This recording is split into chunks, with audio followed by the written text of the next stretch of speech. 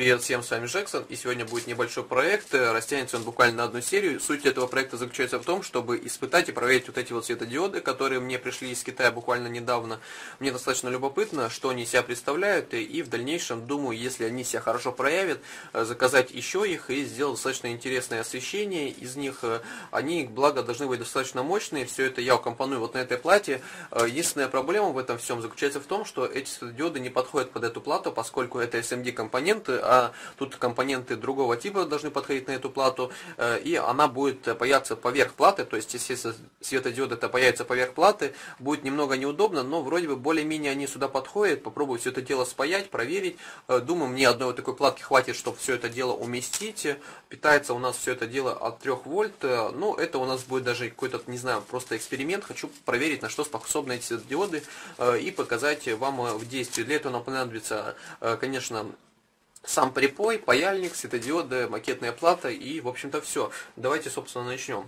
Вот я спаял первую полоску светодиодов, тут у нас 9 светодиодов, получилось не самым ровным образом, но, конечно, это потому, что эти светодиоды не подходят под эту плату, но самое главное, что получилось у меня спаять, самое главное, что они работают, давайте покажу, э, вот мы их э, включили, э, светят достаточно хорошо, достаточно ярко, я даже немного не ожидал, если мы полностью все светодиоды спаяем, возможно, даже получится хорошее освещение, но пока что результат меня радует, питаем это все мы от 3 вольт, вот так это все дело у нас получилось, давайте продолжим это все дело паять и постараюсь заполнить всю эту плату вот этими светодиодами.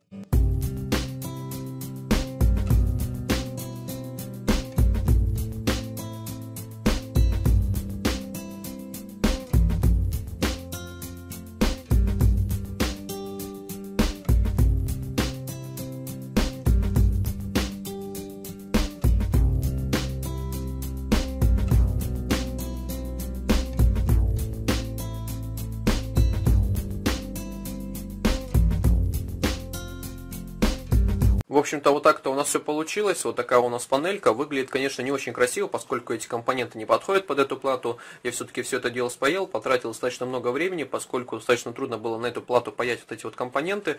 Кроме того, заметил, что плата немного такая изогнутая, но, в принципе, это не критично. Самое главное, что у нас все работает, и мы можем проверить работоспособность этих светодиодов и их э, качество. Честно говоря, я немного удивлен.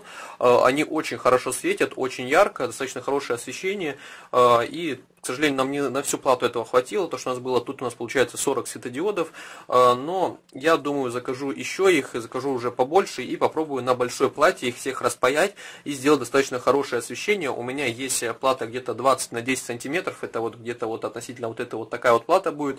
Если все это спаять, хорошо запитать, то я думаю, получится достаточно серьезное и хорошее освещение и светодиодов, а, но в целом результатом я доволен. То есть эти светодиоды, они мне обошлись где-то в 1-2 бакса, они стоят своих денег, денег, это явно, они намного лучше, чем э, которые на ножках, вот эти вот SMD компоненты, эти диоды лучше. Э, также есть другие типы светодиодов, э, у которых получается, которым нужно охлаждение. Они ярче, чем вот эти, но их нужно крепить именно на специальные железные э, поверхности, то есть на радиаторы, чтобы они охлаждались, потому что иначе они будут перегреваться и быстро, э, так скажем, умирать или сгорать. Так что, я не знаю, закажу несколько типов светодиодов, но эти светодиоды достаточно хорошие, ссылка на них будет в описании, кому интересно.